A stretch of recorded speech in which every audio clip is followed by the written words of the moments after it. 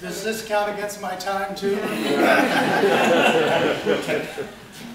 Okay, the question that I had posed to me three years ago is how to respond to the needs of the gigantic baby boomer generation that is uh, retiring at 10,000 a day since um, uh, January 1, 2011, and how could we perhaps make this passage through the third and fourth stages of their lives better.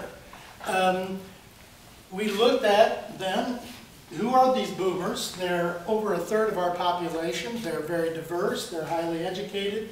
Uh, they're very likely to live much longer than any generations before. In fact, by uh, 2050, there'll be uh, either uh, one in five or one in four of us, and they're going to live much longer. And we're spending a great deal of money on them at this point, which we don't have and will not have in the future.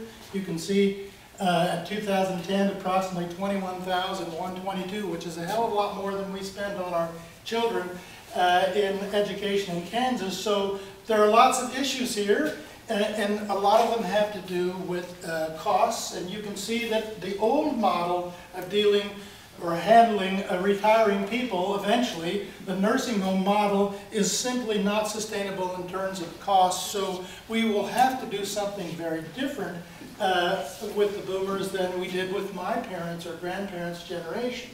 Uh, to a certain extent, we have to change the life course, and this is sort of the Enlightenment uh, arc that bends towards decline until death. And what we were looking for in terms of built environment, social programs, economic um, uh, resources is to bend this decline uh, into a flatter uh, uh curve and then have a drop rather than this uh, decline of misery here.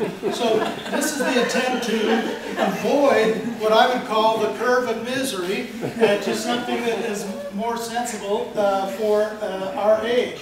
So we developed an intergenerational, uh, I mean an interdisciplinary initiative called New Cities, which we tried to bring uh, a variety of, of uh, expertise and department people into the uh, discussion about aging in the built environment. We connected it to the uh, four bold aspirations and we uh, also made it a function of teaching, research, outreach in particular to the community and looking for innovations and new initiatives to respond to this.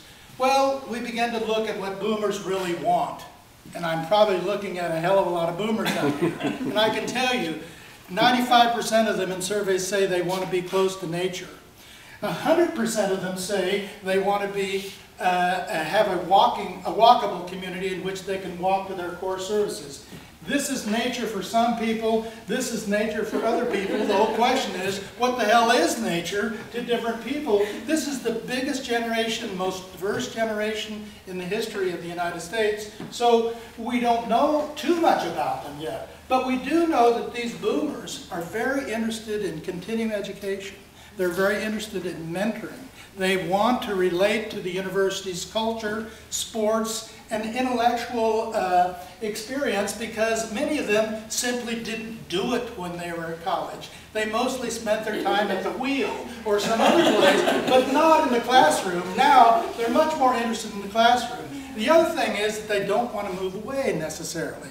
They may want to move somewhere, but they don't want to go roast and toast in Florida anymore. It's not the weather that's the issue, it's the climate of the place. It has much more to do with relationships and place than it does with time. So this intergenerational connection they very much want. They don't want to be in age-segregated communities anymore, which is what uh, we did to the previous generations. That's how we socially constructed aging. The boomers are rejecting that if they possibly can. Remember, they are very demanding and uh, they have set the standards and so they uh, simply are not interested in doing the old thing. They still see themselves as smart, as maybe old, but productive. And they have, by the way, 70% of all the resources in our uh, society. So if you're going to get any of them, Ray, you're going to have to know them a little bit, or they'll just give it to somebody else. But they want to engage in their community and they want to be productive, what they want to do is lead a meaningful life. They don't want to move someplace to die, they want to move someplace to live. Living is a problem because most of them just want to stay wherever they're living now. But uh, eventually that's not going to be possible, and where they're living now is not set up to be accessible, not for their needs, and not easy to get around.